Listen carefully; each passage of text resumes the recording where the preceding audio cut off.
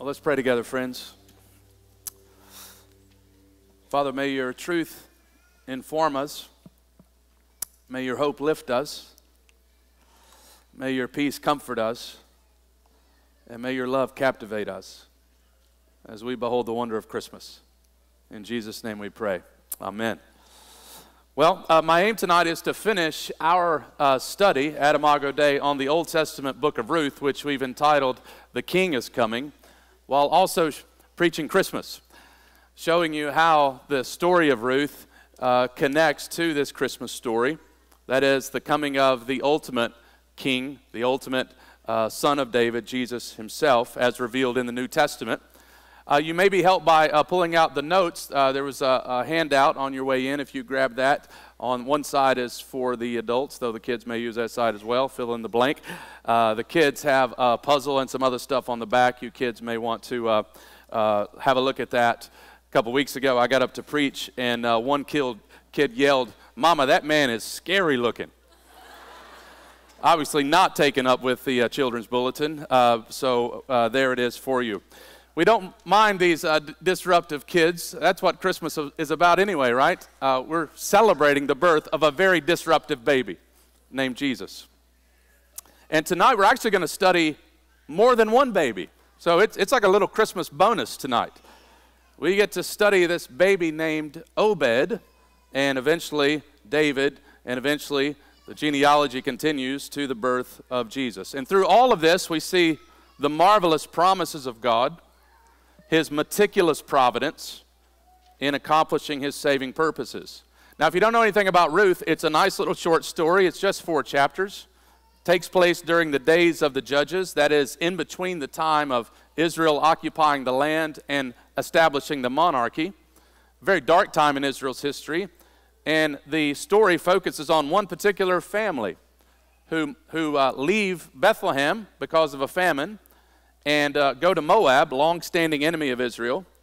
And while in Moab, the two sons took Moabite wives. Uh, all three men died Elimelech, the, the father, and the two sons. That left us with Naomi and two uh, young daughters in law who were also widows. They make the trek back to Bethlehem. Orpah stays back in Moab uh, upon the counsel of Naomi. Ruth goes with Naomi. They get to Bethlehem at the end of chapter 1. Two desperate ladies, Ruth and Naomi. Desperate for food, Ruth goes into the field of Boaz, a guy we, we, we talked about yesterday morning, uh, a, a, mighty good man, who allowed Ruth to glean in the fields uh, out of desperation. And we hoped by the end of chapter 2 that maybe Ruth and Boaz would become an item. They would, they're two eligible bachelors. They're great matches on a number of levels and only to discover at the end of chapter 2 it ends on quite a downer that Ruth lived with her mother in law. And then in chapter 3, which was yesterday's uh, text, into chapter 4, Ruth uh, pr- essentially proposes to Boaz. Boaz commits to marry Ruth. And now we find ourselves at the end of this story seeing how it all unfolds. And I want to, want to say to you tonight that the book of Ruth is a story within a story like every Bible story, it sits within the larger story of the Bible, that is the epic story of redemption. Now, some of you kids, maybe you've watched the, the cartoon movie Antz. I don't know if you've watched Antz before, but it takes place, thanks, Ed. It, uh, it it's a story about uh, this little uh, millions of ants, and this one particular ant named Z who chases this princess ant and the whole story is about this, this romance, right?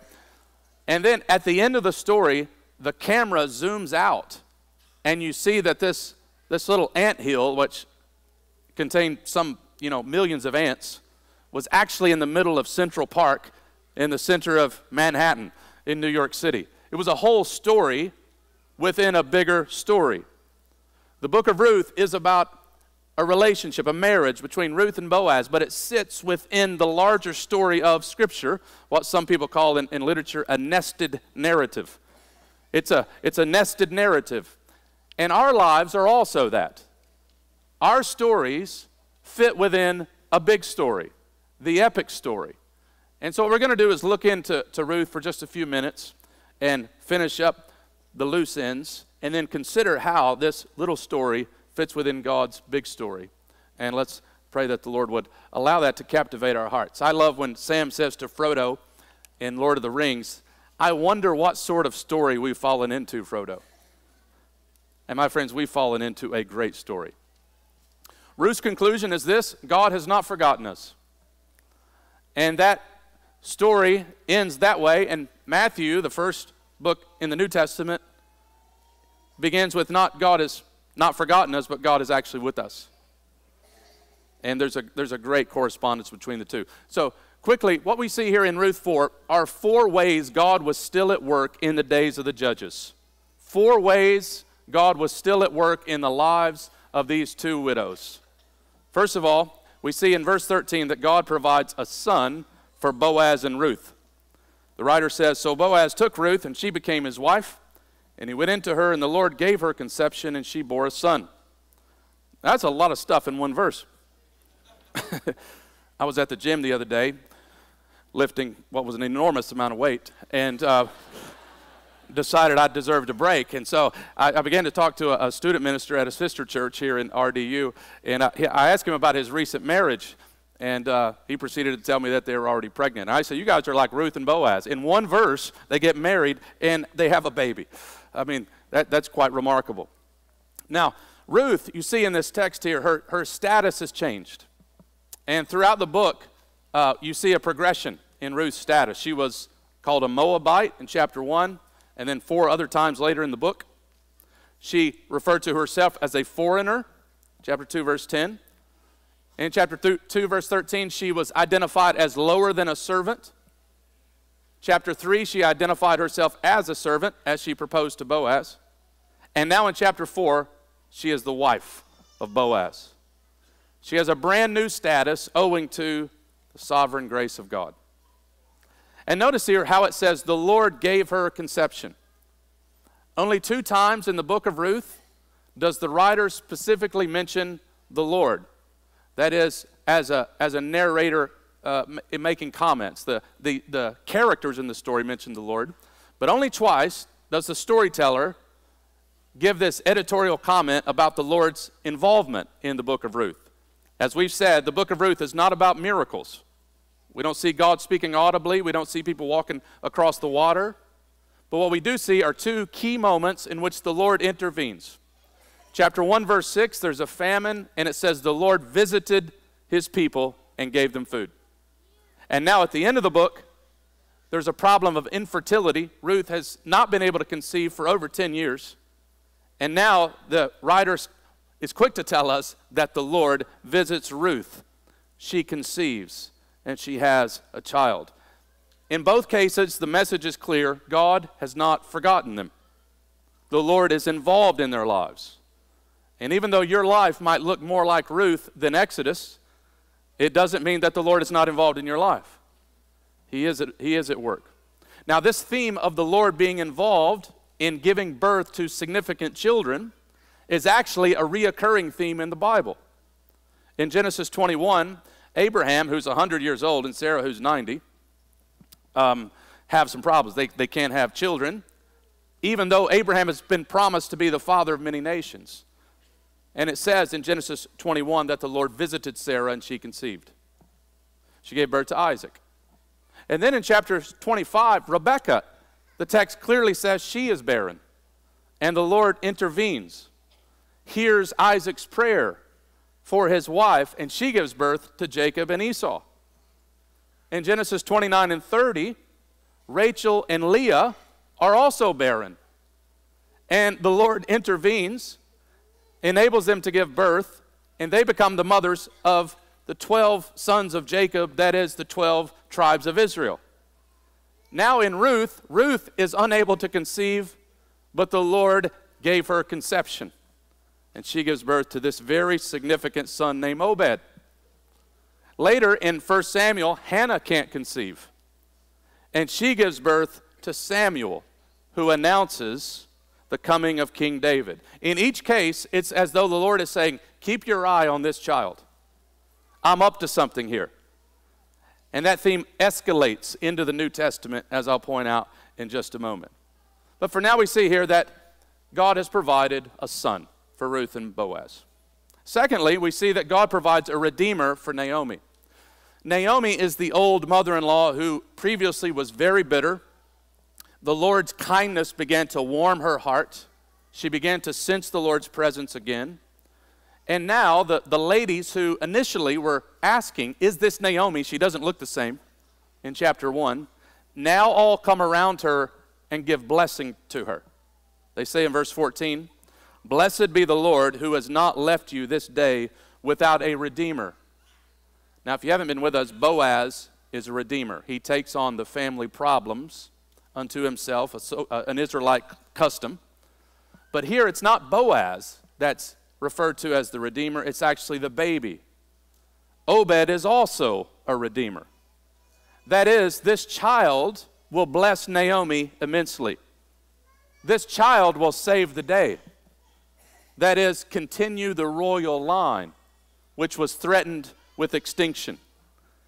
The ladies go on to convey their, their wishes to, the, to uh, Naomi when they say, May his name, that is the baby, be renowned in Israel. Well, they set the bar really high, don't they? Some of us have a more modest dream for our kids. May he stay out of jail. may, may he pass middle school. They're like, may he be renowned in Israel. Well, they had no idea how renowned he would be. May he be a restorer, verse 15, and a nourisher of your old age. This baby's going to nourish Naomi. That is, provide for her basic necessities as she gets old. He's going to restore her because he's given hope to her. This baby is, is lifting the spirits of Naomi, who once said, Don't call me Naomi, which means sweet. Call me Mara, which means bitter. This baby is going to be a means of restoration, of awakening hope in her. They express confidence in Ruth in the, the next phrase when they say, For your daughter in law who loves you, who is more to you than seven sons, this number of perfection. The whole story's been caught up with the problem of no food and no son. Ruth here is giving you love, perfect love, like seven sons, he, and she has given birth to him. Verse 16 Then Naomi took the child and laid him on her lap and became his nurse. Now, the way the text is written here, it's, it's essentially conveying this idea that this will not be your typical grandmother grandson relationship. Ruth is, in a sense, giving this child to Naomi, not, not permanently, not legally, but offering this son that Naomi so desperately wanted. And now she takes this son and nurses him. She who once said, I am empty, I've been abandoned, now has her arms filled with God's blessing in this child. So God provides a redeemer for Naomi. Thirdly, God provides a king for Israel. The text goes on to tell us that there's something more going on than just the birth of Obed. It says in verse 17, and the woman, or the women rather, of the neighborhood came and said, A son has been born to Naomi. They named him Obed, and he was the father of Jesse, the father of David. So put it all together here. To a young barren widow, Ruth, God provided a husband and a son. To an old and bitter widow whose family line was on the verge of extinction, God provided Naomi with Obed. And now to a nation that was on the verge of extinction in the days of the judges, God provides a king, King David. The book of Ruth is not just about two desperate widows, it's also about a desperate nation on the verge of annihilation. The re- reoccurring theme in Judges 21 is that there was no king in Israel. The first person named in the book of Ruth is Elimelech, meaning my God is king, and he didn't solve the problem. But now Obed will be the grandfather of David in the middle of this dark time, and maybe you're in a dark time, when everyone was doing what was right in their own eyes, God was at work. Very quietly. His quiet hand was at work, bringing forth Obed, eventually bringing forth David. The ladies here name him Obed. That doesn't happen normally in the Old Testament. But this is adding this, this chorus of vo- voices indicates the significance of this child. Obed, short for Obadiah, which means servant of Yahweh. He will serve Naomi. He will serve the nation by leading to King David, and ultimately, he will serve us by continuing this royal line to Jesus Christ himself.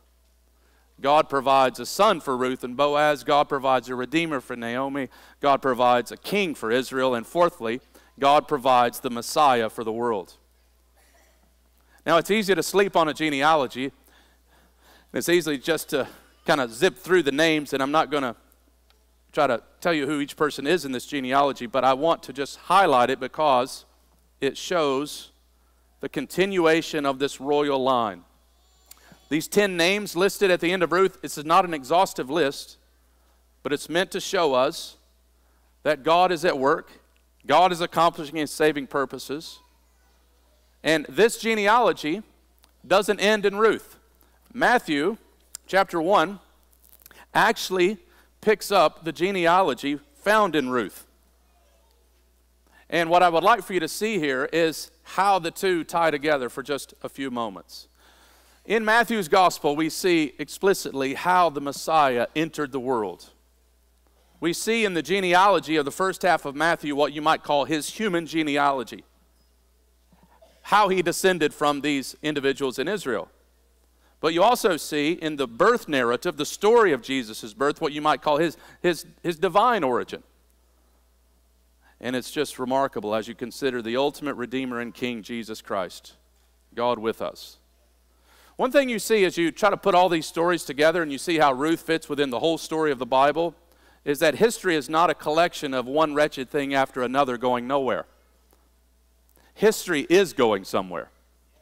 It's going to Revelation 22 16, where we worship the root and descendant of David, Jesus himself. And it's a glorious thing to live in the light of that, of that history, in light of that truth. Now, three implications of the epic story of redemption. First of all, let me encourage you to live in the light of the truth that Jesus appeared in human history. One of the things we take away from Matthew's genealogy is the fact that Jesus actually existed that he appeared in human history. In verse 1, you see how Matthew, chapter 1, highlights the two, two giants in Israel's history the book of the genealogy of Jesus Christ, the son of David, the son of Abraham. So Jesus is the descendant of, of King David, Israel's greatest king. David was a paradigm for the Messiah to come, which is why Jesus is worshiped as Hosanna, son of David.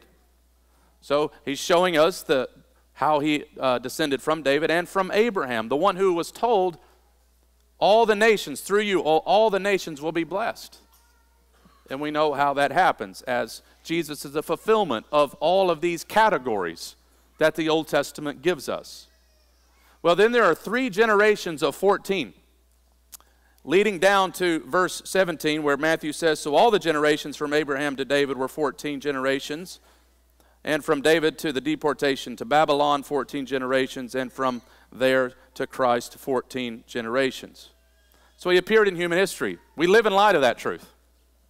Secondly, we should rejoice in the fact that Jesus, the one who came in human history, came to save sinners. There's good news all in this genealogy, and you might be surprised by it. There, there are a lot of surprises in Matthew's genealogy. He mentions five women. And these are some very interesting figures. Verse 3, we read that Perez and Zerah came by way of Tamar. It was through sinful incest with her father in law Judah that she gave birth to these boys. Verse 5, we read in the genealogy of Rahab, who was, we come to find out, the mother of Boaz. Who was Rahab? She was a prostitute who spared the people of God. Then we read in verse uh, 5 Ruth, this Moabite, an outsider, not an Israelite, in the genealogy of Jesus. And then we read in verse 6 of Bathsheba, though she's not mentioned explicitly, the text says that David was the father of Solomon by the wife of Uriah, that was Bathsheba. She's brought into the family line through adultery and murder. And you thought your family was dysfunctional. and finally, the fifth lady mentioned there is Mary. Now, Rahab and Ruth are outsiders, not Israelites. Tamar, Rahab, and Bathsheba are all associated with sinful activity. And yet, here they are in the, in the genealogy of Jesus Christ. This whole genealogy, if you look at it as a whole, includes men, women, prostitutes, adulterers, liars, murderers, Jews, and Gentiles.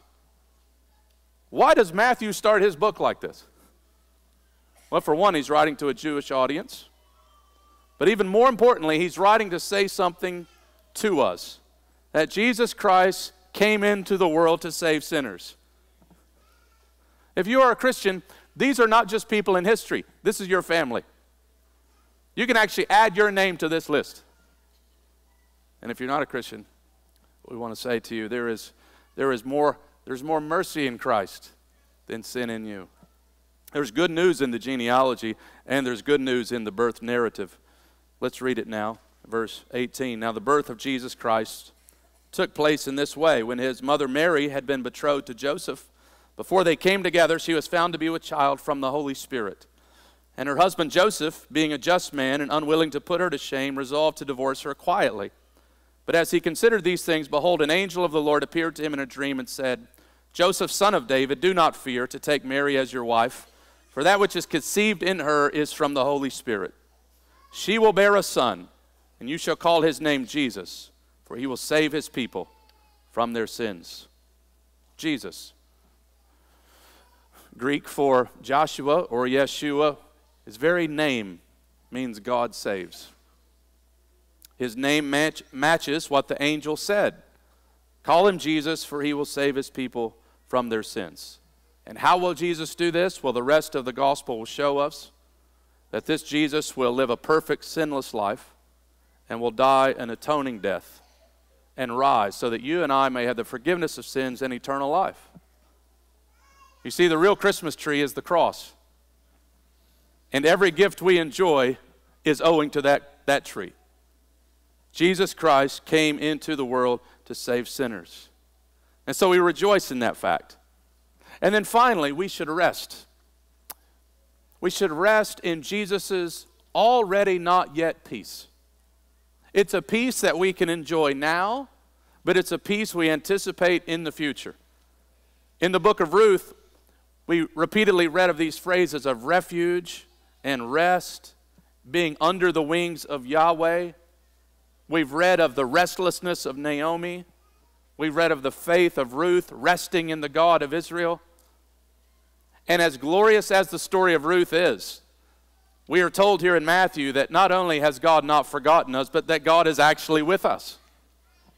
Notice what it said in verse 22 All this took place to fulfill what the Lord had spoken by the prophet. Behold, the virgin will conceive and bear a son you will call his name Emmanuel, which means God with us. You see, my friend, by fa- placing your faith in Jesus Christ, you can find ultimate refuge, ultimate rest, and ultimate peace. And we believe you're made for that. As the North African church father Augustine put it well, you have made us for yourself, O Lord, and our hearts are restless until they find their rest in you. John Wesley said on his deathbed, The best of all is God with us. The best of all. I don't know what kind of gift you're anticipating this Christmas. Maybe a new vacuum cleaner, something exciting like that. But the best of all is God is with us. That is the peace that Matthew introduces introduces us to in Matthew 1 and it is bookended in Matthew 28 in the last part of Matthew's gospel, as Jesus said, I will be with you always. It's an already peace you can have, but it's a not yet peace. It's a peace that will come to climactic fulfillment when Jesus comes the second time. Now, how would this Jesus who appeared in human history, how, how would he provide this grace and this peace and this joy?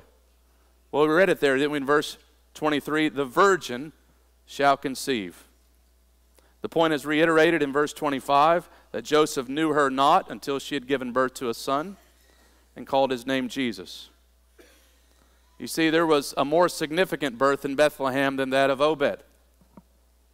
Think about this theme, my friends Sarah, barren. Rebecca, barren. Rachel and Leah, barren. Ruth, barren. Hannah, barren. Elizabeth, Luke 1, barren. Mary, virgin. In each case, God intervened and significant children were born in redemptive history.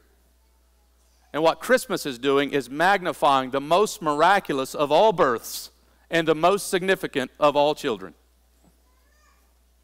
This, this theme of God intervening is, reaches its apex as we come to Matthew chapter 1 and we see the Lord enabling a virgin to conceive.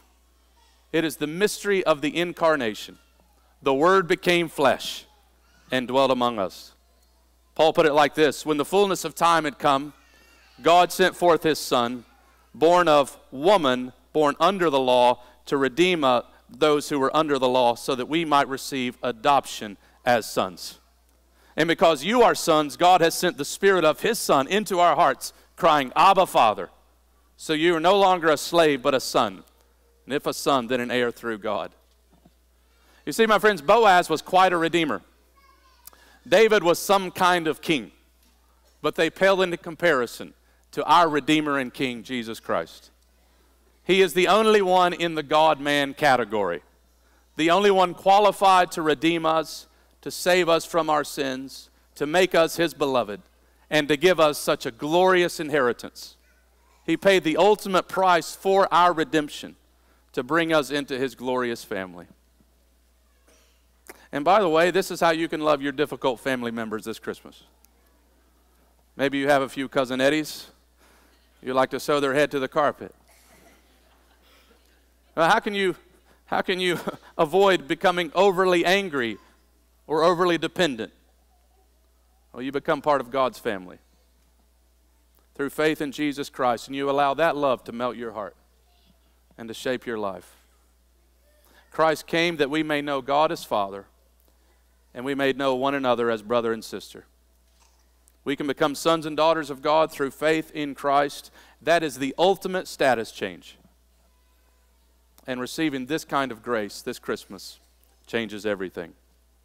So, my friends, let me just encourage you tonight to live in light of the glorious birth of Jesus Christ in human history, to rejoice in his saving grace, and to rest in his already not yet peace a peace that will be consummated soon. As the hymn writer says, the bride eyes not her garment, but her dear bridegroom's face. I will not gaze at glory, but on the King of grace.